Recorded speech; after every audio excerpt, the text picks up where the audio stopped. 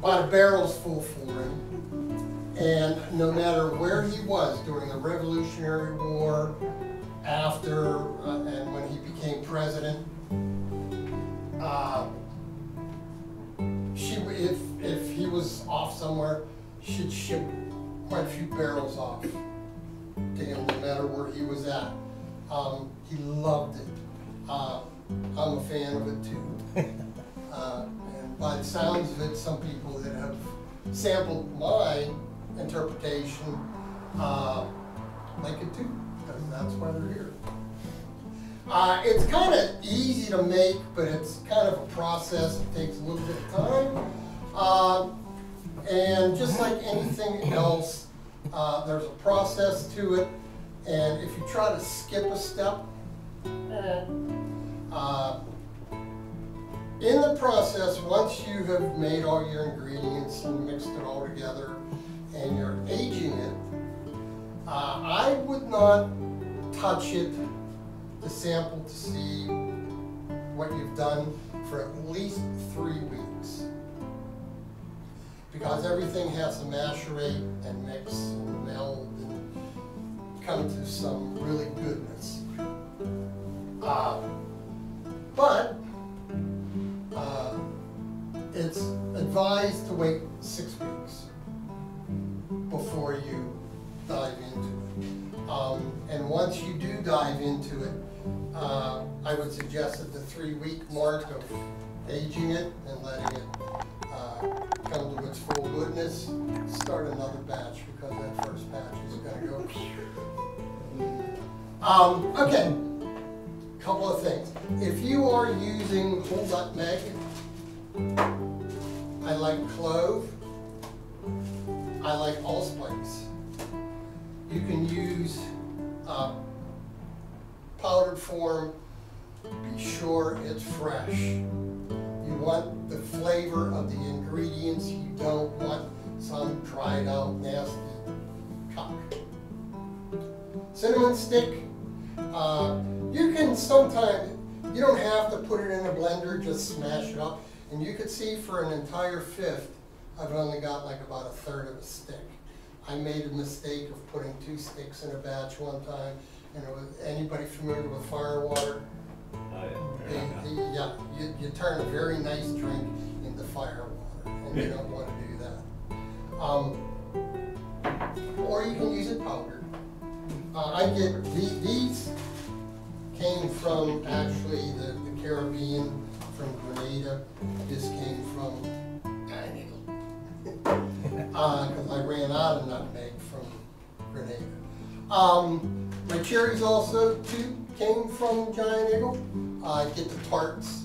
Uh, I guess if you're, if they don't have tarts, you could use a sweetened, um, cause you're gonna dump a bunch of sugar in this anyhow.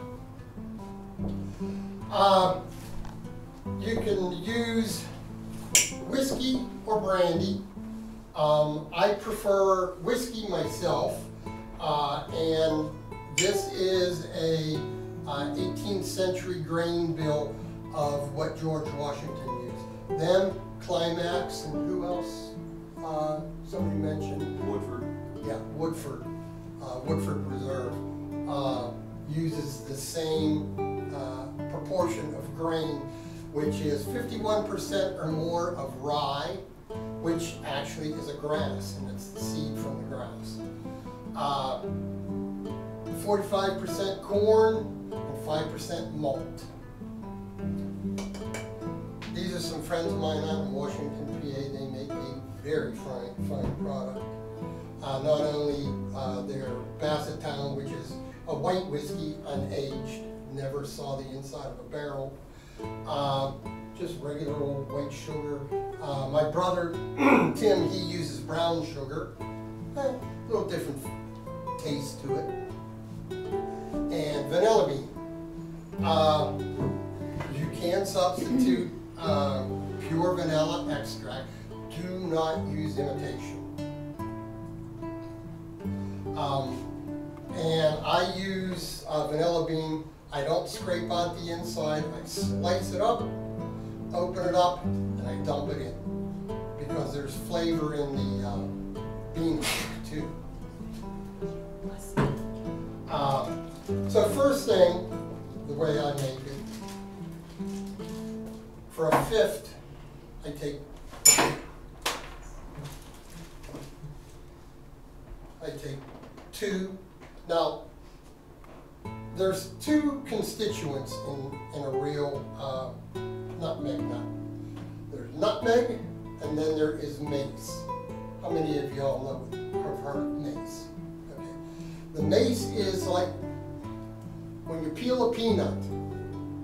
That skin that's on the nut, that's what mace is to a nutmeg. See, I think that's the best way I can describe it.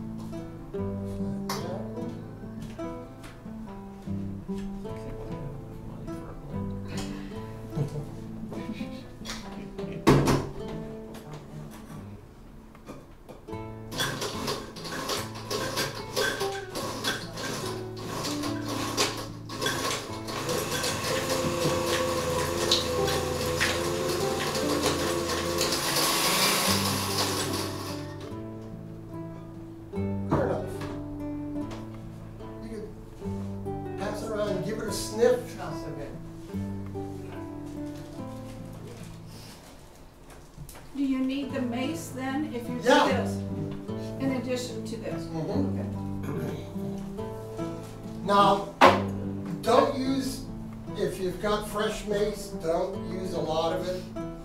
And try not to handle it with your skin, uh, because it is a little hallucinogenic in a larger quantity. And it is also, and it is also absorbed through the skin. So be careful of that unless you're want to experiment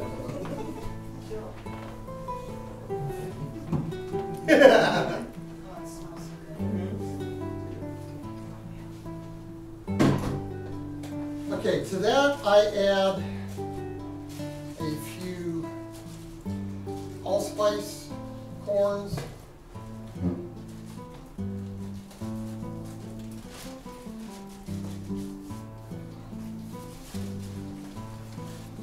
This isn't like a, a teaspoon of this, and a tablespoon of that.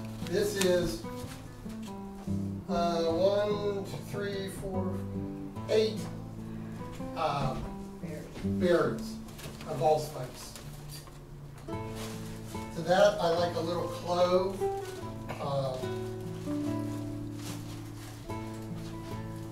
When I first started making this,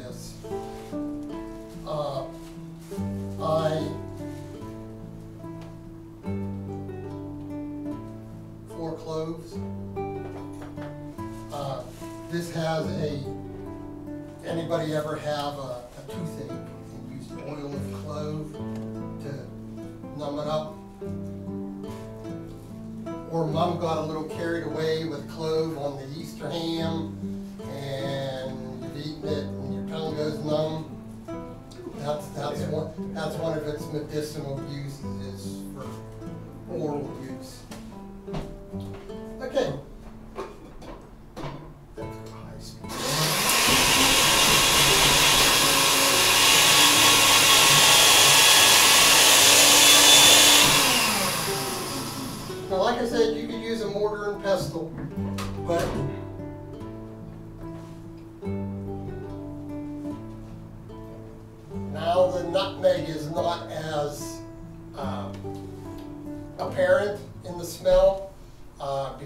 Have all the other uh, spices uh, lending their uh, particular properties to it.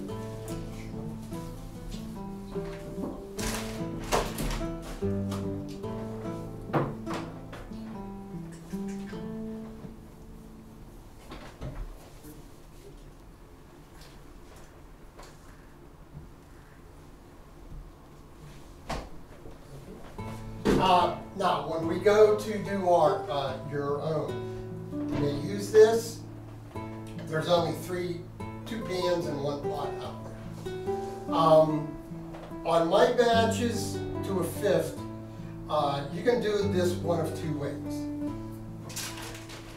One pound of cherries to one fifth, and then at about three weeks, you drain out these cherries with, with some kind of scoop with holes in it. Get a fine mesh colander, crush them out, get all the alcohol that's in them. Uh, throw away the skins. Take that concoction you just mashed out, put it back in. Take your second batch that you're gonna make, have that fresh. Then at the end of your six-week period, uh, your second batch of cherries, put that through a colander, mix it all back up, and about every couple, three to four days, just pick your container up and give it one of these. That's all you need. So at the end of six weeks, what you're gonna do is, you're gonna siphon uh, from one container to another. Use a, a, a plastic hose. Um, the only thing I had at the time was uh, 14 gauge wire and I took the conductors out of it, about that long. And the further you are down below where you're siphoning from, the faster it'll be. But you gotta be careful. The reason why you're siphoning it is all this. You don't wanna drink that because it's gritty. Um, all my stuff was in here because I aged it because it's got a sealable lid to it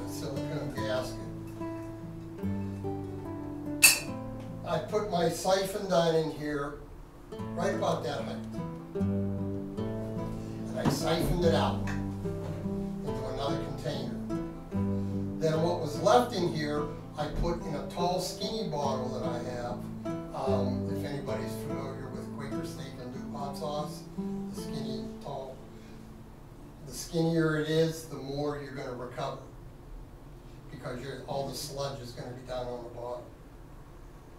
Now I put it back in here and, uh, there you go, you're drinking it. So, like I said, it's a, it's a little involved, it takes a, a bit of time.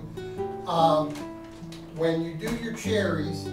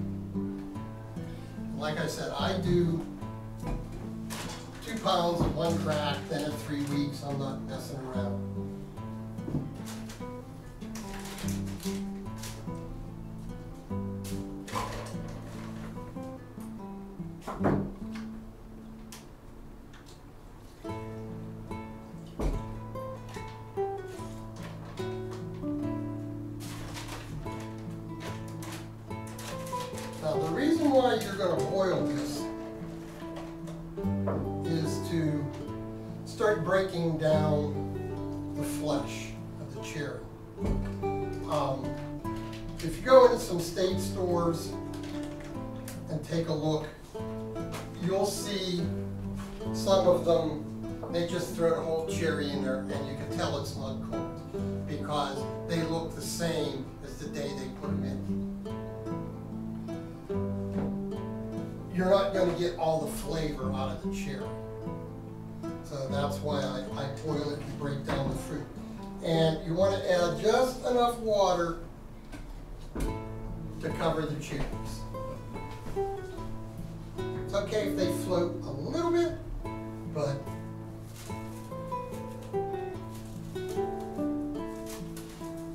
and for a waddle,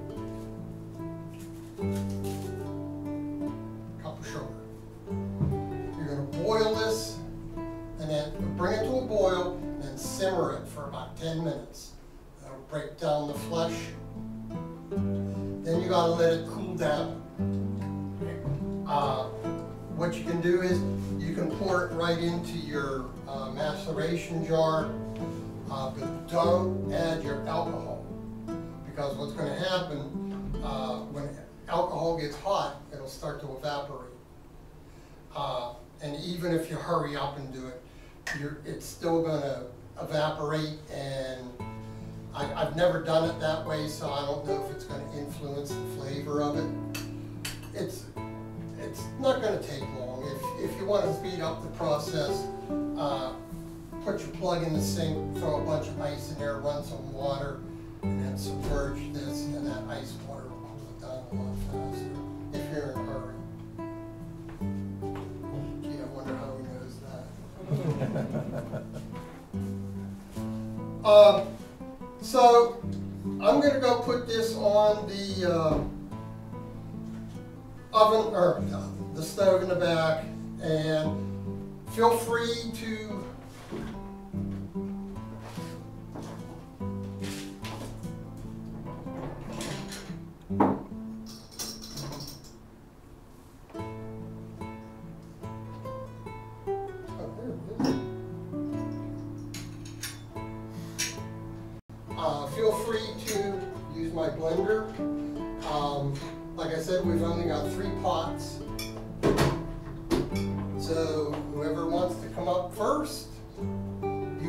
your stuff in there, crunch it up. Uh, and we'll go process, process. Any questions at any time, feel free to ask. The only stupid question is a question that's not asked. Yes? Do you take the uh, cinnamon stick? Do you you're grinding that as well? or- No, I'm gonna Oh, put okay. my cinnamon stick in. Whole. All right. That Same with way, Vanilla bean, at the- that goes in last. soap, yeah. Yeah, um, you cut, well, what I do with mine.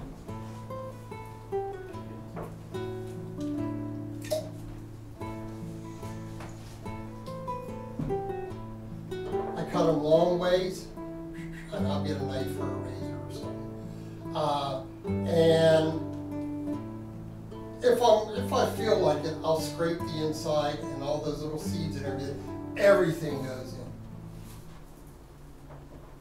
Uh, you don't want to put your spices uh, in anything hot uh, because that will change the flavor of it a bit. Um, anybody who bakes uh, from scratch can attest to that. It does change the flavor. You, uh, I like the flavors of the spices and everything.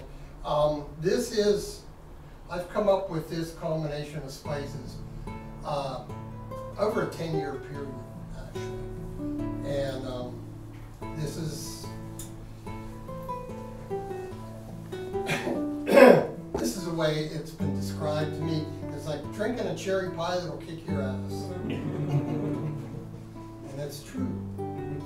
Uh, so, um, Why, why do they call it cherry bounce? Okay, I was waiting for that question. A bounce is an infused liquor.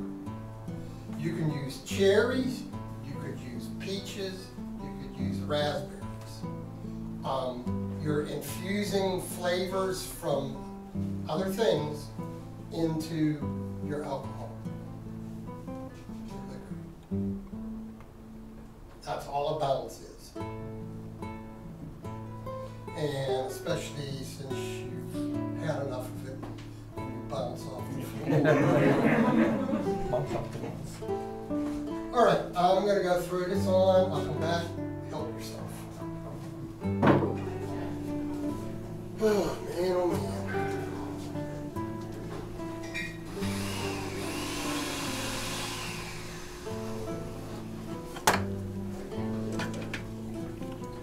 You said the cherries in three weeks, take them out, mash them up, Throw the skins away. get the mash back in, throw the skins away, but then you add another batch Yeah, another. of cherries. Yeah. Is it another batch of cherries that you boil like this Yes, with the yes, you have with the to- sugar and everything? Same thing. Yeah, you have and then to.